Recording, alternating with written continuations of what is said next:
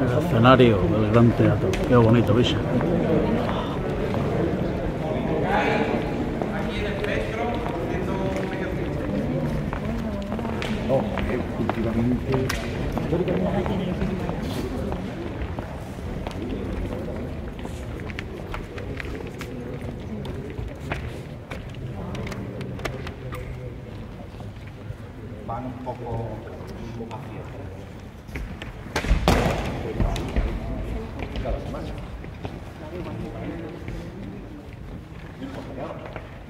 Estamos sobre el escenario del Gran Teatro Falla.